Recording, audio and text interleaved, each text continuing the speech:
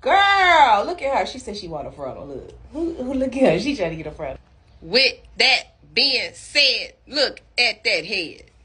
Okay, guys, we're going to use pantyhose much thinner, something we used to use back in the day. Everything, oh, it's coming to be new again. Now we're going to go in with our Bold Hold Liquid Gold. I want y'all to stop using glue. I've been begging y'all. I'm saying, please, please, please, don't use the glue. You see her hairs right there. Don't put the glue on her, but nobody listens. But I know somebody is listening. Please use the Bold Hold Liquid Gold. It's str- just as strong as the glue. Now I'm going to go on top of the cap. I just told you, I don't want you to put glue on the people's hair. Don't put glue on the people's hair. Now I'm putting the tape on top of the cap because I'm going to put glue on top of the tape.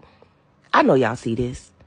If you need the tape to be a little wider so you can go back further, do that. But just look at the technique. This is safe.